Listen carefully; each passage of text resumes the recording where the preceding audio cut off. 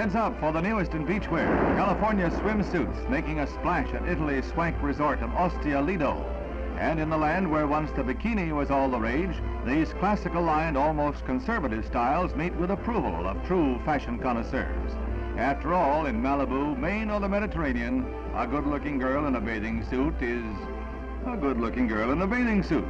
Who can improve on that? And who would want to?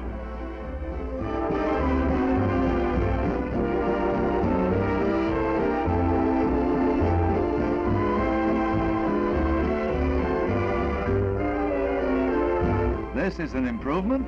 Well, they're the newest in accessories for the seashore, crazy caps.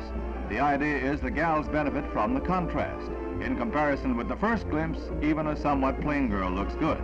Not that these sunny sea nymphs need that kind of help, but it is sort of fun comparing the funny face with the real one. Some funny mask. Oops, pardon me.